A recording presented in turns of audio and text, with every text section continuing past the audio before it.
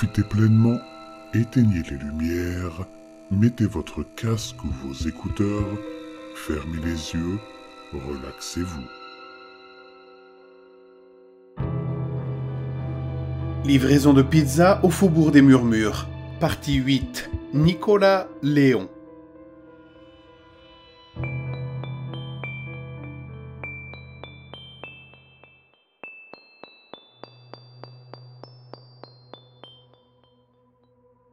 Bonjour, bonjour. La veille de Noël est à nos portes et il est temps de faire la livraison dont nous avons parlé plus tôt. Bien qu'Elsa t'ait déjà prévenu des dangers liés aux livraisons le soir de Noël, tu dois savoir beaucoup de choses sur le client à qui tu vas livrer. Je vais donc t'énumérer, comme d'habitude, toutes les informations dont tu devrais avoir besoin. Il est toujours préférable d'être bien préparé même le soir de Noël. Nom du client Nicolas Léon. Adresse 0021 Place Mélodie. Commande habituelle Grande pizza dessert croûte en pain d'épices, garnie de menthe poivrée et de morceaux de prune à sucre. Description de la résidence. Une cabane en rondin pittoresque, avec une grande couronne de houx fièrement exposée sur la porte. Quel que soit le temps, la maison sera recouverte de neige, étant donné que son propriétaire est présent. Description du client. Nicolas est un vieil homme relativement grand. Il mesure environ 1m90 et a un peu d'embonpoint. Il porte un grand manteau de fourrure gris avec des ornements blancs et un chapeau rouge bordé de blanc. Ses cheveux sont blancs comme la neige. Ses joues et son nez sont presque toujours rouge cerise, et il sourit constamment comme s'il venait d'entendre la meilleure nouvelle du monde. De plus, il porte sur son dos un grand sac débordant de bonbons, d'oranges, de pommes et d'épices diverses. Règle de livraison. Règle 1. Une fois arrivé, écoute bien avant de frapper à la porte. Tant que tu entends de la musique de Noël, interrompue de temps en temps par des rires joyeux, tu peux frapper à la porte en toute sécurité. Règle 2. Si en écoutant à la porte, tu entends le moindre bruit de grattement, de griffure, de hurlement, de rugissement ou de gloussement sadique, laisse la pizza sur le porche klaxonne pour faire savoir à Nicolas que sa pizza est arrivée et part. Ne t'inquiète pas du paiement. Nicolas est plus qu'honorable et il ne manquera pas de nous rembourser, très probablement avec un supplément de 20 euros et un généreux pourboire en guise d'excuse pour le dérangement. Crois-nous, tu n'as pas envie de rencontrer la source de ces bruits inquiétants. Règle 3. En supposant que tu aies pu frapper à la porte en toute sécurité, Nicolas répondra sous peu. Il agira comme si tu étais un ami perdu depuis longtemps et paiera avec un gros billet. Le vieil homme insistera cependant sur le fait qu'aucune partie de cet argent n'est au pourboire. Il te donnera plutôt une petite boîte faite entièrement de pièces de monnaie. Cela, dira-t-il, c'est ton pourboire? Règle 4. Nicolas le dira lui-même, mais n'ouvre pas la boîte avant d'être rentré chez toi. C'est un vieil homme généreux, mais aussi un adepte de la tradition. Tu seras plus que tenté de l'ouvrir immédiatement, mais encore une fois, ne le fais pas. Le faire là, après que Nicolas t'ait dit de ne pas le faire, serait une grave erreur. Règle 5. Après avoir effectué la livraison, Nicolas t'invitera à entrer. Accepte cette invitation. Ne pas l'accepter est tout simplement impoli dans ce cas. Tu ne veux pas être impoli dans cette maison. Règle 6. Une fois à l'intérieur, reste aussi loin que possible de la porte en bois près de la cheminée. Ce n'est pas pour rien que tant de verrous et de chaînes sont attachés autour d'elle. Le simple fait de s'en approcher de quelques mètres pourrait avoir de graves conséquences. Règle 7. Nicolas t'offrira une tasse de chocolat chaud. Là encore, accepte-la, car refuser cette boisson serait offensant pour ton hôte. Règle 8. Nicolas a tendance à être très bavard. Il finira souvent par te poser diverses questions sur toi, allant de tes préférences et passe-temps, à des sujets personnels qu'il ne devrait pas savoir demander. Quoi qu'il te demande, réponds-lui franchement. Non seulement Nicolas peut reconnaître quand quelqu'un ment, mais il y a aussi une autre personne dans la maison qui peut le sentir. Règle 9. Comme nous l'avons probablement déjà précisé, évite d'être un tant soit peu grossier ou offensant en présence de Nicolas. Ne pense même pas à quelque chose d'un tant soit peu haineux. Les pensées et les émotions négatives ont un effet puissant sur un ami de Nicolas. Règle 10. Le vieux Nicolas est extrêmement perspicace. Si tu commences à agir ou même à penser de façon offensante, il te dira d'arrêter, en insistant sur le fait que tu pourrais être réveillé par Krampus.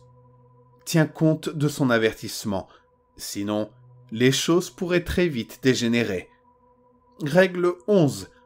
Essaie d'écouter tout ce qui se passe à l'extérieur lorsque tu es dans la cabane de Nicolas. Si tu entends des individus turbulents ou désagréables à proximité, excuse-toi poliment et pars immédiatement. Quelqu'un est sur le point de se réveiller, et il vaut mieux que tu ne sois pas là quand il se réveillera. Règle 12. Si tu agis de façon offensante, ou si des individus offensants se trouvent à proximité de la maison, il se peut que les choses soient sur le point de dégénérer. La porte enchaînée commencera à cliqueter et à trembler avec force et une grande main velue commencera à se faufiler à travers les interstices du bois. Fais attention à ce que la main ne parvienne pas à t'attraper. Règle 13. Nicolas ne tardera pas à agir lorsque Krampus commencera à se libérer. Il essaiera de maintenir la porte fermée alors que les serrures commencent à claquer et à se briser. À ce moment-là, prépare-toi à partir. Nicolas n'est pas aussi fort que Krampus et ne pourra probablement pas l'empêcher de sortir. Voici maintenant les règles pour échapper à Krampus. Règle 1. Si Nicolas te crie de courir, c'est qu'il est sur le point de perdre complètement son emprise sur la porte, et Krampus sera bientôt libre. Il est préférable que tu partes immédiatement si ce n'est pas déjà fait. Krampus a été enfermé toute l'année, et il est plus que désireux de s'amuser un peu. Règle 2. Krampus te poursuivra pendant que tu fuiras le quartier. Bien qu'il ne soit pas vraiment rapide, il poursuit des victimes en fuite depuis un bon moment. Elle ne le lui échappe pas régulièrement. Bien que nous n'ayons probablement pas besoin de le dire, ne le laisse pas t'attraper. La punition la plus clémente qu'il ait jamais donnée dans cet état a été un écorchement partiel associé à l'amputation de plusieurs doigts. Règle 3. Krampus est extrêmement stratégique et connaît assez bien la disposition de ce quartier. Cependant, il dispose de plusieurs astuces que tu peux utiliser pour l'éviter. Cela dit, tu dois être vigilant. Si tu n'agis pas correctement en fonction de ce que tu vois ou entends, tu n'as aucune chance de t'échapper. Règle 4. Écoute toujours les bruits de respiration lourde et de chaînes qui s'entrechoquent. Ce sont généralement les meilleurs indicateurs pour savoir où se trouve Krampus. Règle 5. Sois très, très observateur pendant que tu parcours la route. Krampus lancera souvent des objets sur ta voiture pour tenter de te distraire. Il peut s'agir de branches, de pierres, d'ornements de pelouse ou de boîtes aux lettres. Règle 6. Si tu entends le bruit de tuiles qui claquent, Krampus est en train de courir sur les toits voisins. Essaie de le repérer le plus vite possible. Il sautera vers toi dès qu'il sera assez près. Règle 7. Si Krampus te crie Cours, petit lapin, tu dois immédiatement faire demi-tour et partir dans la direction opposée. Il ne dit cela que si tu te retrouves dans une situation inextricable. Règle 8. Fais attention lorsque tu entends Krampus rire. Il a l'habitude de lancer sa voix et parfois même le son de ses chaînes vers des endroits éloignés, afin de rediriger et de confondre sa proie. Fais particulièrement attention à son rire lorsque tu te trouves à un carrefour. Règle 9. Si Krampus se retrouve devant ta voiture, fais demi-tour rapidement et immédiatement. Il est connu pour attraper les voitures en leur lançant ses chaînes au passage, ou même en les laissant l'écraser. Les pneus sont pratiquement arrachés de la voiture lorsqu'il fait cela. Règle 10. Si Krampus parvient à s'accrocher à ton véhicule, ta meilleure et seule option est d'arrêter la voiture. Son emprise est trop forte pour que tu puisses t'éloigner, et plus tu résistes, plus la punition qu'il t'infligera sera sévère. Règle 11. Avant qu'il ne te punisse, il y a une dernière chose que tu peux faire.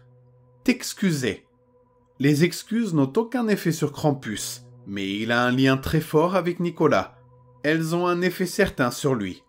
Si tes excuses attirent l'attention de Nicolas, cela peut suffire à te sauver. En vérité, c'est la seule chance que tu as à ce moment-là. Voilà tout ce que tu dois savoir sur Nicolas.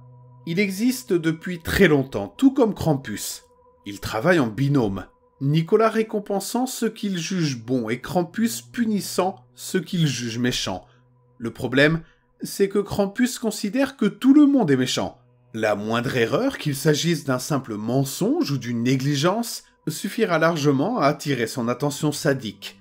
Et pire encore, il a attendu toute l'année pour torturer quelqu'un. Sa première victime de l'année est toujours celle qui souffre le plus.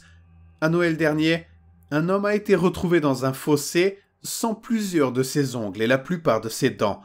L'année précédente, un enfant qui s'était particulièrement mal comporté s'est réveillé couvert de marques de brûlure et gravement estropié. Et l'année précédente encore, un riche homme d'affaires a découvert que sa maison avait été réduite en cendres. Mais surtout, Krampus n'a jamais tué personne, peu importe ce que la personne a fait. Car vois-tu, aux yeux de Krampus, la mort est une échappatoire. Et s'il y a une chose que Krampus souhaite, c'est de ne pas laisser échapper ses victimes. Cher livreur, Elsa et moi-même te souhaitons un joyeux Noël.